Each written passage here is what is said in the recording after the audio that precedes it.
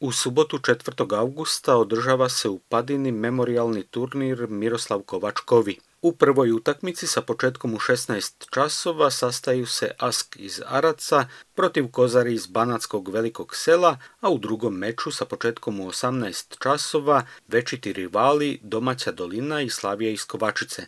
Sutradan, 5. augusta, na programu je najpre u 16 časova utakmica poraženih ekipa za treće mesto, a pobednici duela iz prethodnog dana igraju za pobednički pehar u 18 sati. Dolina i Slavija će odmeriti snage i u kup utakmici u sredu 8. augusta.